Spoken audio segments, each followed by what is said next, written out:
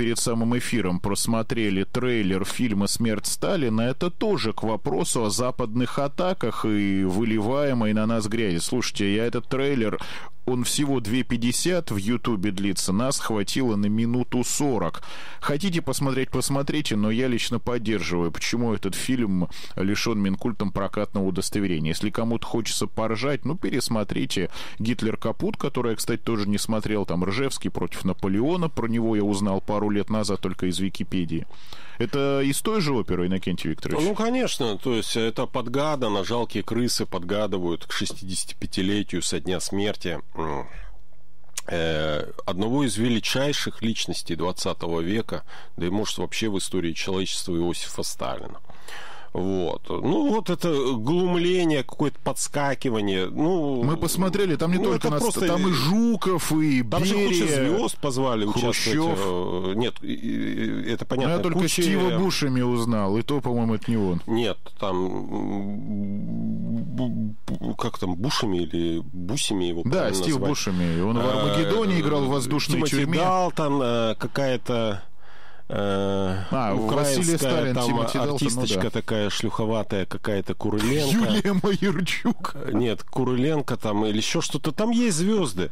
Ну, выглядит вот реально дешево, э, как-то вот на уровне комедий, снимаемых на базе ТНТ, Комеди Клаба. Так так оно и есть. Надеюсь, мы им не создали дополнительную рекламу оплевать, очернить. Я вот вспоминаю прекрасно. Вот меня вот э, очень сильно насторожили события конца 2007 начала 2008 года. Я не знаю, возможно, кроме меня это никто не внимания а не тогда обратил. тоже были президентские выборы. Э, нет. Э, там никто никому не мешал в России проводить эти выборы. Там случилось другое событие в августе. Но перед этим я вот обратил внимание, все американские английские фильмы пошли там сплошняком, все злодеи были русскими. В криминальных, в шпионских э, фильмах, э, в мафиозных только русские.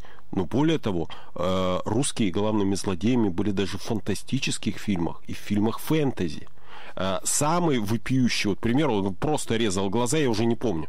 Это начало 2008 э, года было, середина, конец или 2009, я не помню.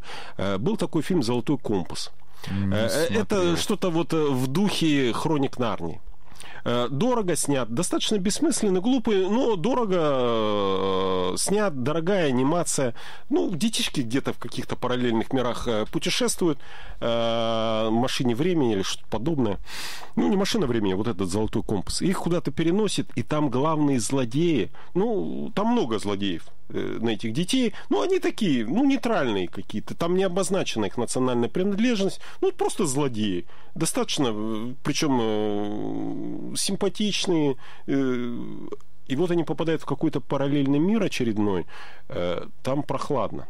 Там зима, лед, снег, и там главные злодеи русские – вот этом параллельном мире. Они Метафора очевидна. Но это, понимаешь, это такие упыри. Это вот не сказочные мимими злодеи. Это упыри-упыри. Они этих детей заживо травили и драли собаками, псами и волками.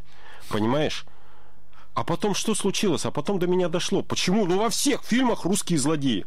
Вот все, испарились негры, белые англосаксонские мужчины. Э, вот главные злодеи в американском кино, это же не негры, мексиканцы, которые на 90% составляют э, пациентов всех американских тюрем. А белые англосаксонские мужчины 40 лет, они все, они все маньяки, э, они все убийцы, а тут русские все стали. А случилось 08-08-08, пятидневная война в Грузии. Понимаешь? Какая мощная подготовка задолго была.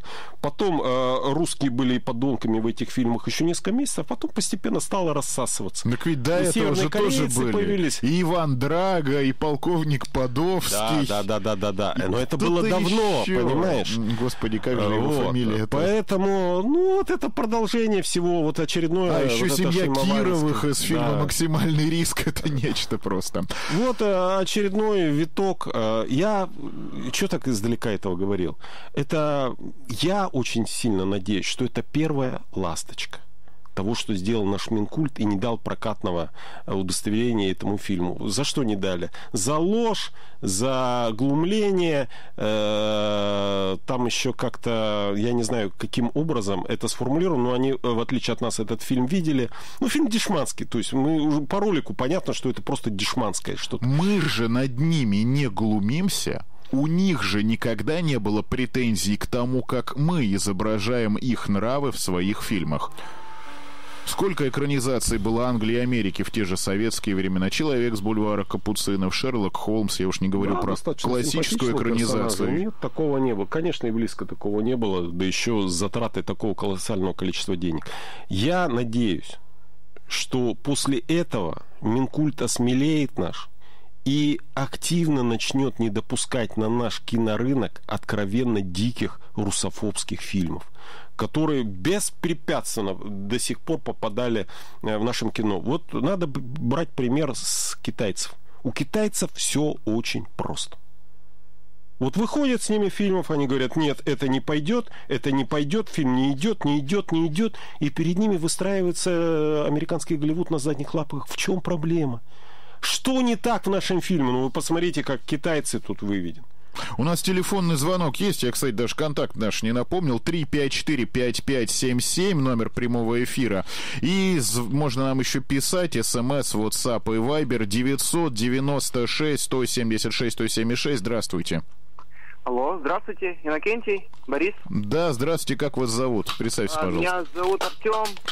Да-да. Хочу присоединиться к вам по поводу кинематографа и представления а, в англоязычных фильмах э, русских людей. Ну что же им такого сделали? Почему они нас так как бы порочат? Мы жрем их еду, мы носим их одежду. Ну и можно до бесконечности продолжать. А они вот так вот с нами обращаются. А в их фильмах они мы жрем нашу икру и игнорируем их продукты питания. Вот за это.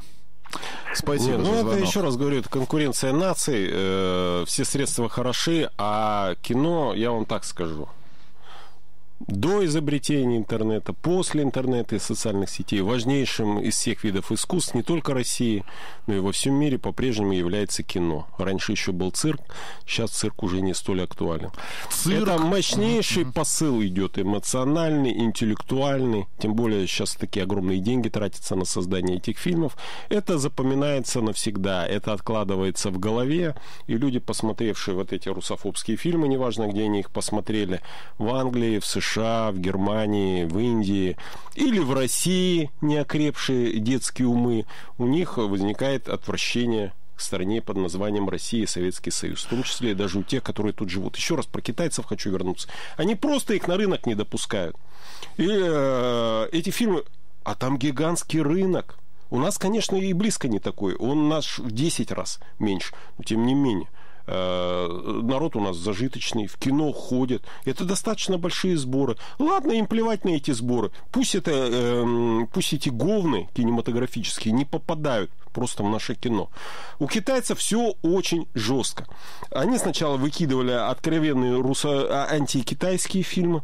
Сейчас они уже блох вылавливают. Это почему это там э, у плохого героя он китайцем оказался? Вот эту сцену, если вы хотите, чтобы ваш фильм попал э, на наши кинотеатры, надо переснять. И Голливуд бежит и переснимает. Э, сняли они как-то, было несколько лет назад, два таких мощных блокбастера. Э, общий смысл штурм, штурм Белого дома. Один-то ладно, там какие-то просто абстрактные террористы, а в другом там, по сути, китайцы штурмовали. Китайцы офигели просто. Это что за фигня? И Нет. пошли штурмовать американский Этот фильм Белый у нас дом. в кинематографе не пойдет. И что они сделали? Ну, узкоглазых-то уже не убрать, э, кто атакует. Они все перерисовали в этих кинем... э, в кинофотошопах. И в конце концов оказалось, э, что Белый дом штурмует Северная Корея.